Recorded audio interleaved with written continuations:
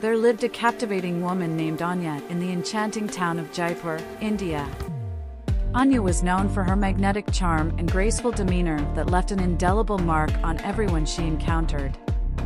Her almond-shaped eyes sparkled with intelligence, and her long, flowing black hair framed a face that exuded both mystery and allure. Anya's elegance was further heightened by the vibrant hues of her traditional saris, each chosen with meticulous care to complement her dusky complexion. The town of Jaipur, with its bustling markets filled with intricate fabrics and ornate jewelry, served as the perfect backdrop to showcase Anya's exquisite taste in fashion. She moved through the streets with a poise that commanded attention, leaving a trail of admirers in her wake.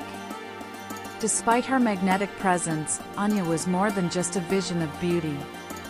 She was a woman of substance, deeply involved in the community's cultural events and charitable activities. Her intelligence and wit made her a sought-after conversationalist, and her laughter echoed through the narrow lanes of Jaipur like a melodic symphony.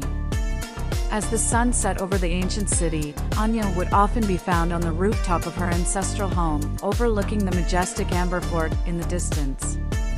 The warm glow of the evening sun would cast a golden hue on her elegant silhouette, creating a timeless image that seemed to capture the essence of Jaipur itself, a place where beauty, tradition, and grace coexisted in perfect harmony.